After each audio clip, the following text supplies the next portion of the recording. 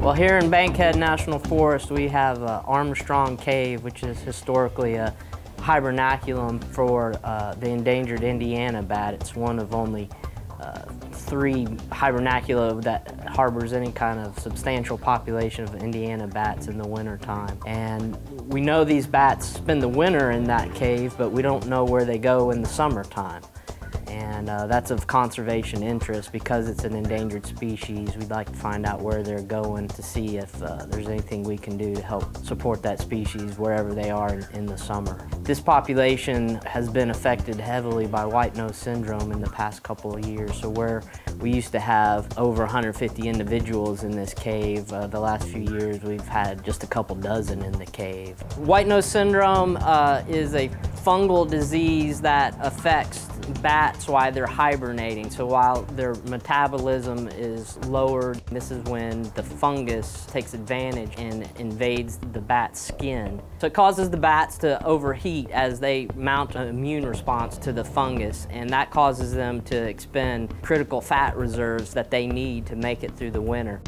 Bats are important because they're insectivores.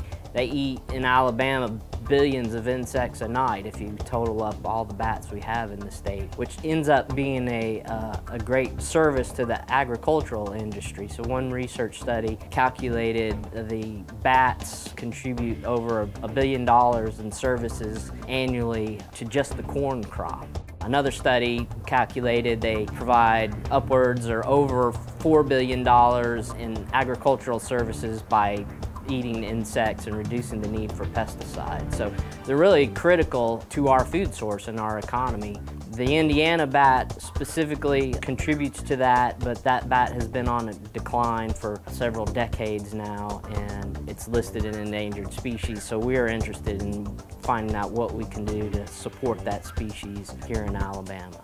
So we have two, two different methods we use to try to uh, catch bats. Um, one is called a harp net, and the reason it's called that is it resembles vaguely a harp. So there's lots of strings strung vertically, monofilament line, that the bats can't detect with their echolocation. So we put that in front of the cave, and um, as they emerge from the cave, they hit that and they drop into a bag that's beneath the trap, and then we can um, take them out of that and, and investigate them. Uh, the other method we have is um, what's called a mist net, which is just what it sounds like. It's a very fine net that, again, the bats um, can't detect with their echolocation. We string that across a, a bat flyway, and those uh, bats like to um, use corridors that are easy to move along while they're uh, foraging. We'll erect these mist nets over that pathway and as they're uh, traveling in the evening and foraging, they'll hit that net and they become entangled in it, and then we can extract them from that net and inspect them. So the Department of Conservation helped organize and really put together the planning to bring together many different partners uh, to make this project happen.